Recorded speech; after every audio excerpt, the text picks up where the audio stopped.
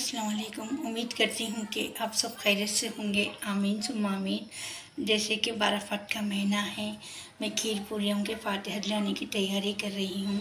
मैं ये दो घंटे चने की दाल भिगा के रख दी हूँ और मैं ये दो किस्म के पूरियाँ बनाती हूँ। ये चोबा है, घस के रख ली हूँ मैं। ये काजू है, ये किशमिश है, ये बादाम है ये शक्कर है, ये इलायची है कि सब, कोई कैसे कि इलायची का पाउडर डाल दे, मैं साबित इलायची डालती हूँ ताकि मुँह में आए तो निकाल दे सकते। फिर ये घी है, ये दूध है, मैं ये डब्बे का दूध यूज़ करती हूँ आटा भिगाती और आपको बतलाऊँगी कि मैं अब दाल गलाने के लिए रख दे रही हूँ चूल्हे पे। बिस्मिल्लाह, कोई है कि कुकर में गलाते, कोई भगोने में गलाते, मगर मैं भगोने में गलाती हूँ। अब ये दाल गलने रख दी हूँ मैं, अब मैं आपको मगजियात मिलाने का तरीका रख दी हूँ। ये दाल गले तक मैं चोबे का पूरियाँ बनाने का तरीका बतलाती हूँ।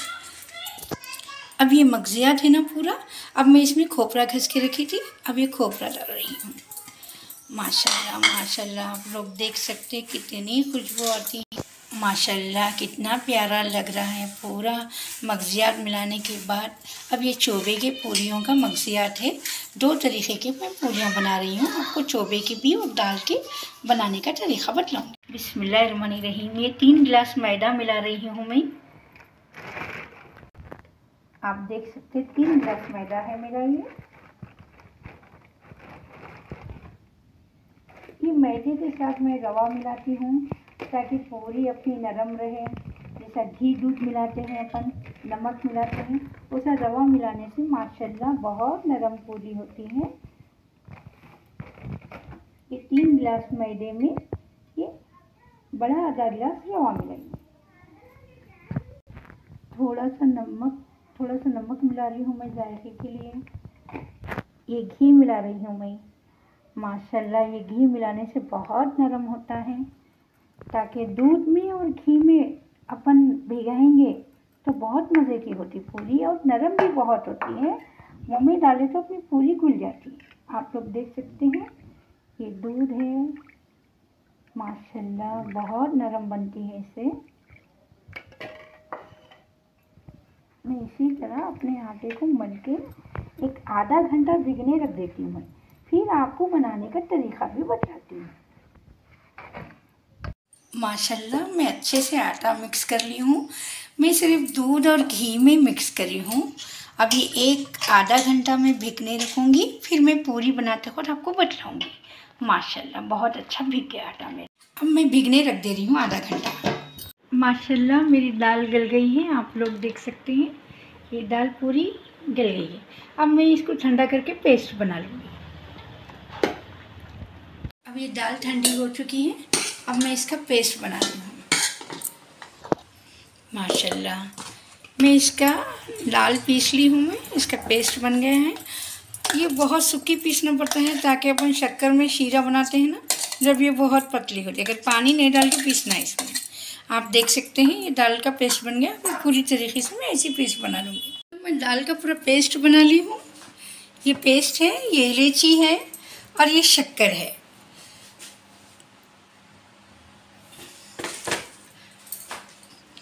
अब मैं दाल बघारने के लिए एक दो चमचे घी डाल रही हूँ। बड़े चमचे से दो चमचे घी डाल रही हूँ, दाल बघार रही हूँ। बिस्मिल्लाहिर्रहमानिर्रहीम। मैं ये दाल को बहुत सूखी पीसती हूँ ताकि शीरे में दाल की पूरी ज़रा घट रहना पड़ता, पूरी मुलायम रहना, मगर दाल घट पीसना। अपन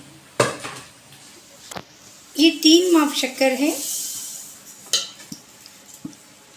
आधा किलो दाल में तीन माप शक्कर काफ़ी हो जाती है। और ये इलायची का पाउडर है, ये रंग है, रंग अपने हिसाब से डाल सकते ये ज़ाफ़रानी रंग है।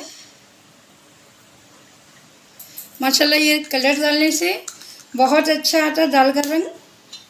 अब इसको अच्छा खड़े रह के हिलाते रहना पड़ता, ताकि नहीं तो दाग नहीं लग जाए। माशाल्लाह, मेरी दाल बन चुकी है। माशाल्लाह। मैं आधा घंटा आटा भिगाती बोली थी दी अब थोड़ा हाथ की मदद से मैं इसको नरम कर रही हूँ। नरम करके थोड़ा सा घी लेके मैं हाथ को लगा के, माशाल्लाह, बहुत नरम हो चुका है मेरा आटा। मैं इस, इसमें सिर्फ़ दूध और घी से ही भिगाती हूँ मैं, ताकि मुलायम और नरम रहना माशाल्लाह माशाल्लाह। माशाल्लाह बहुत नरम हो गया है, आप देख सकते हैं। अब मैं इसके पेड़े बना रही हूँ। बना रही हूँ पहले मैं इसके पेड़े बना रही हूँ। माशाल्लाह, ये दाल की पूरी है ना, ज़रा मोटी रहना चाहिए ताकि दाल ना फूट ना जाए। इसी तरीके से पूरे पेड़े बना के मैं दाल की पूरी बना लेती हूँ। माशाल्लाह, देख सकते हैं आप।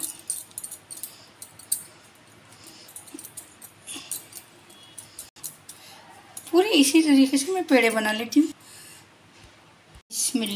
रही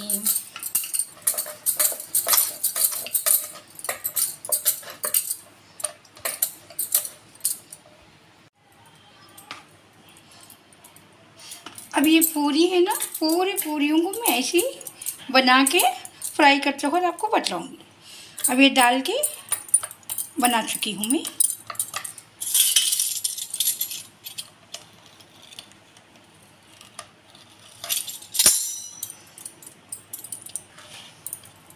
अब ये दाल की पूरियाँ बन चुकी हैं, इसी तरीके से मैं पूरी पूरी बना लूँगी। मैं चौबे की पूरियाँ बनाना शुरू कर रही हूँ। ये चौबे की पूरी है, आपको बतलाई थी कि मैं डाल के भी और चौबे के बनाऊँगी बोल के। ये चौबे के ज़रा पतले बनाना चाहिए। ये मैं पूरे पेड़े बना लूँगी।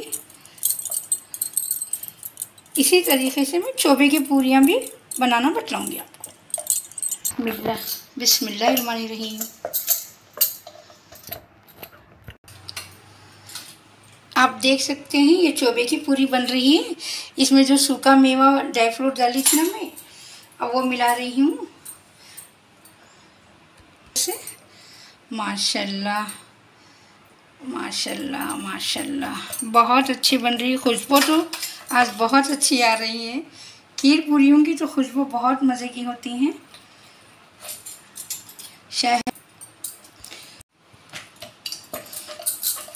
माशाल्लाह। जल्दी जल्दी बनाने की आदत है ना? माशाल्लाह, बहुत अच्छा बन गए हैं।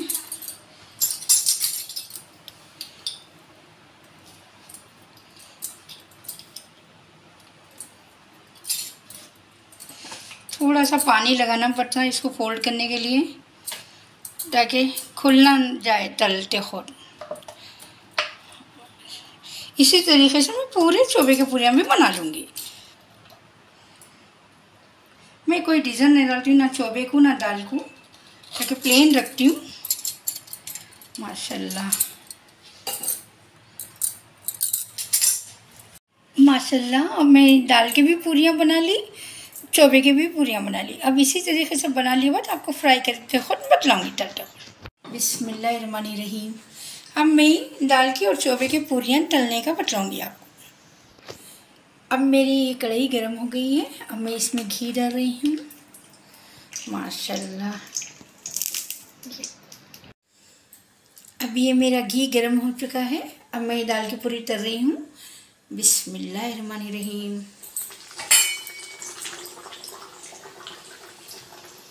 माशाल्लाह। बहुत अच्छी बनी है। खुशबू तो बहुत अच्छी आ रही है। अब इसको ब्राउन करके माशाल्लाह, ब्राउन कलर हो गया है, देख सकते हैं आप। माशाल्लाह।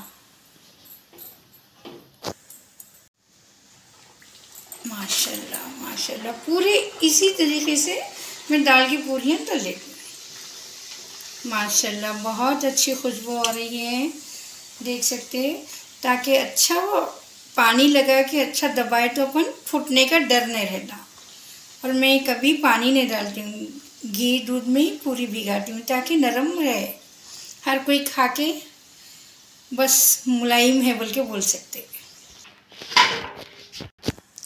अब मैं चोबे की पूरी तर रही हूँ। बिस्मिल्लाह रहीम।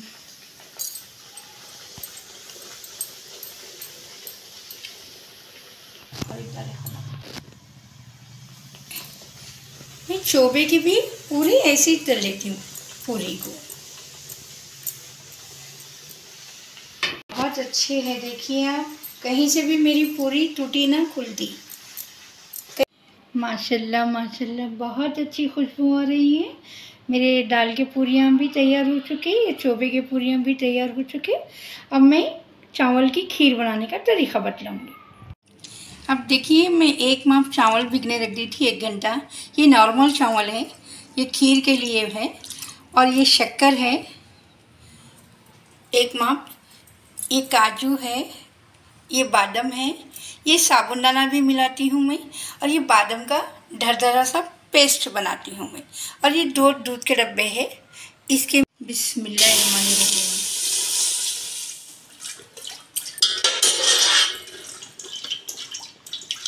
माशाल्लाह, मेरा दूध अच्छा गर्म हो गया है, देख सकते हैं। माशाल्लाह, बहुत अच्छी खुशबू आ रही है। अब मैं इसमें चावल मिला रही हूँ।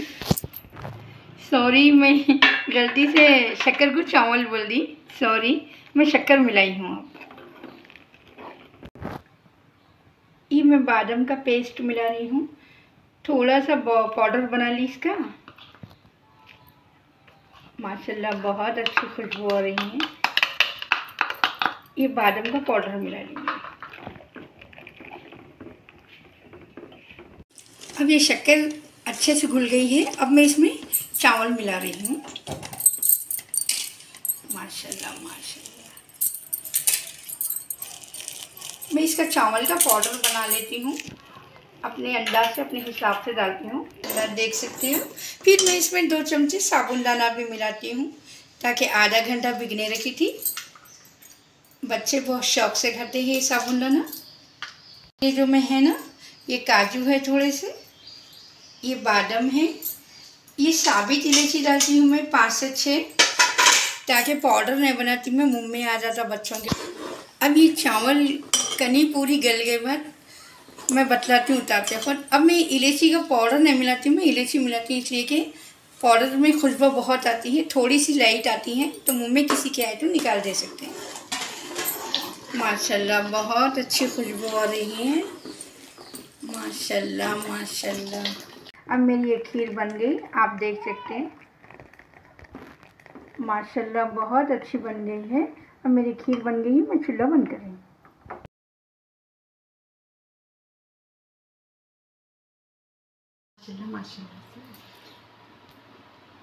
माशाल्लाह माशाल्लाह। मेरे खीर पूरियाँ बन गए हैं दाल के पूरियाँ हैं ये चोबे के पूरियाँ हैं ये खीर है। माशाल्लाह मैं बहुत अच्छे बने हैं।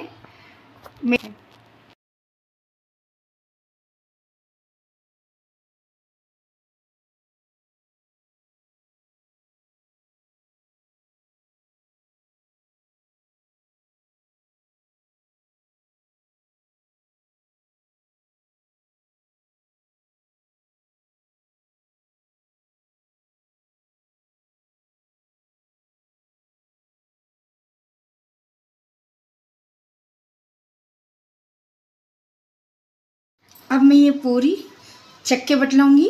माशाल्लाह कितनी नरम बनी है देख सकते हैं आप। माशाल्लाह माशाल्लाह बहुत मज़े की बनी है। हम्म, यम्मी बनी। माशाल्लाह यम्मी बनी।